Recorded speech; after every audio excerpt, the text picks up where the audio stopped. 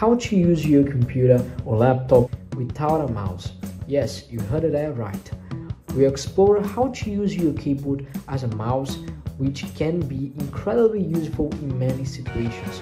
Whether you're using uh, in a situation where your mouse isn't working, okay, your mouse isn't working, or you simply want to try something new, knowing how to control your computer or keyboard can be a game changer. So it's very useful information that you guys learn today here. To start, we'll walk through some of the basics and then we'll get into the more advanced features, okay?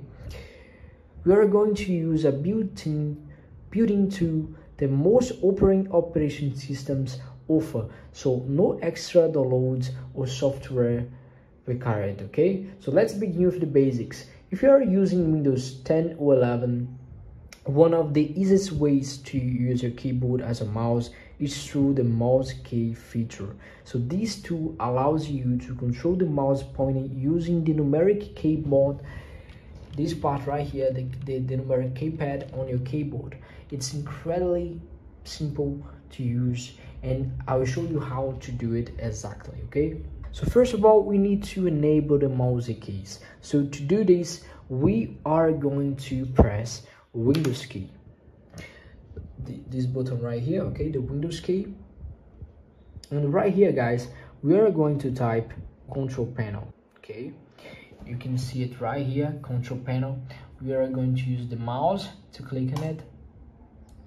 Or you just, if you don't have the mouse, guys, you just use the keyboard right control panel and just press enter but let's suppose you have the mouse you get a, a, a, a friend's mouse just to enable this thing and you, then you're going to pass the mouse to him again and uh, you go back to have no mouse use. So this option right here. Once you're in control panel navigate to the ease of access. Okay right here. And here guys you're going to click on change how your mouse works you find the option called turn on mouse keys. Just check the box next to it and click and apply. And then okay. You can actually go in the same place again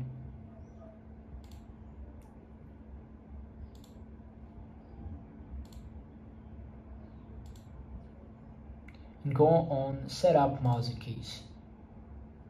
Make sure this option is turned on okay? Here you can adjust the top speed and acceleration. You can go on high on low. I'm going to put in the same one. And right here we are going to click apply and then okay now that the mouse keys is enabled, you can control your mouse pointer using the numeric keypad. If you are using a laptop and don't have the numeric keypad, don't worry. There's a, there is a way around it and we'll get to that shortly. So let's talk about the mouse keys actually work. Once activated, the, numer the, the, numeric keyboard can move the cursor around your screen. The 2, 4, and 6 and 8 keys on the numeric keyboard you move the pointer up, down, left and right.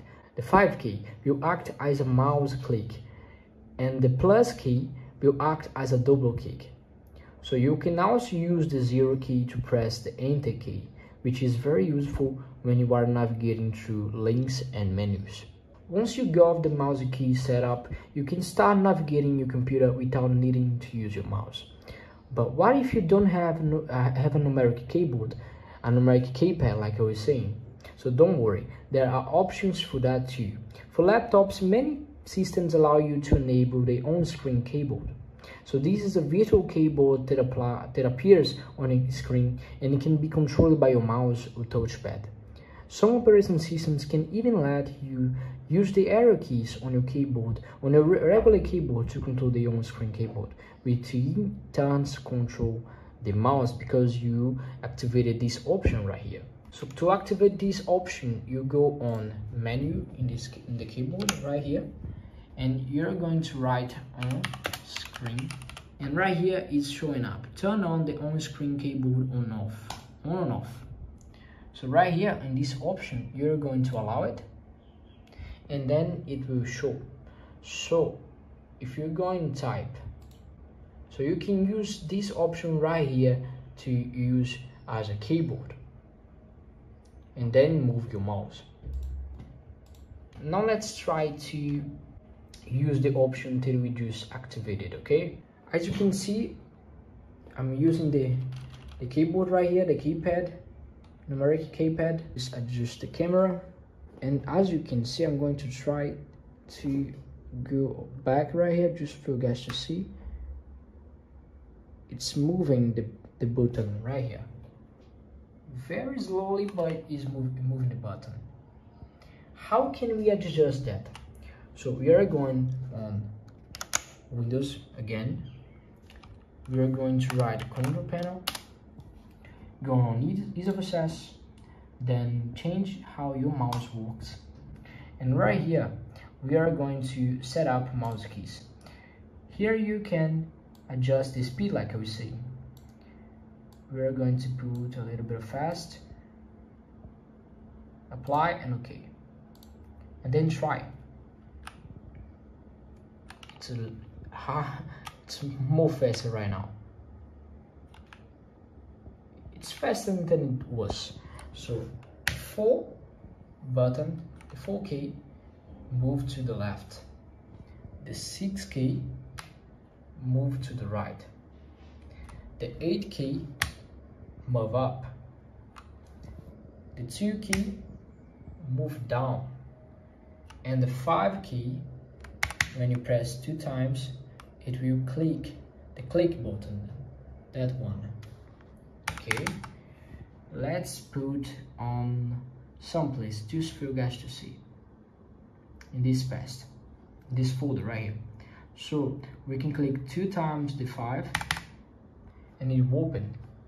Or you just can click one time the zero and you will do the same.